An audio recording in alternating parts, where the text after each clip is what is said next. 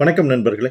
உங்கள் M S Tamil Nadu agriculture யூனிவர்சிட்டியில் certificate verification two நடந்து முடிஞ்சிருச்சு. இந்த சர்டிஃபிகேட் வெரிஃபிகேஷன்லேயும் பார்த்தீங்க அப்படின்னா வேகன்சிஸ் கொஞ்சம் ஏற்பட்டிருக்கு. எவ்வளோ அப்படிங்கிறது வந்து அஃபீஷியலாக இன்னும் அனௌன்ஸ் பண்ணல.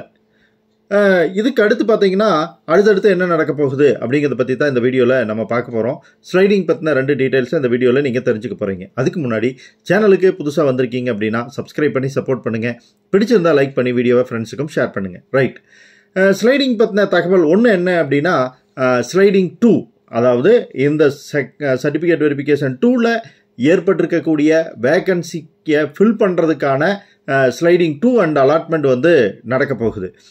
ஸ்லைடிங் ப்ராசஸ் அப்படின்னா நம்ம ஏற்கனவே நிறைய எக்ஸ்பிளைன் பண்ணியிருக்கோம்.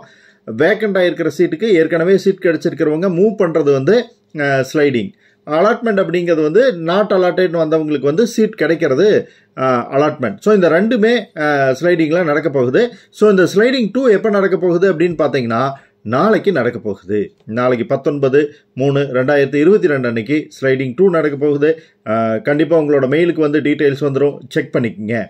ரெண்டாவது விஷயம் என்ன அப்படின்னா இந்த ஸ்லைடிங் பற்றி நண்பர் கேட்டிருந்த ஒரு கேள்வி தான் எனக்கு ஸ்லைடிங்கில் பார்த்தீங்க அப்படின்னா நான் கொடுத்துருந்த ஃபஸ்ட்டு ப்ரிஃபரன்ஸே கிடச்சிருச்சு.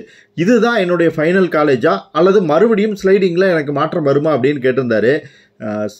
ஃபஸ்ட்டு ப்ரிஃபரன்ஸ் உங்களுக்கு வந்துருச்சு அப்படின்ட்டா அதுக்கு மேலே எந்த சேஞ்சும் இருக்காது. அதுதான் உங்களோட final college and course so அதனால் ஸ்லைடிங்கை பொறுத்த வரைக்கும் டாப் வரைக்கும் மூவ் ஆகும். டாப்புக்கு மேலே போக முடியாது. கீழ் நோக்கி மூவ் மூவ் ஆகாது.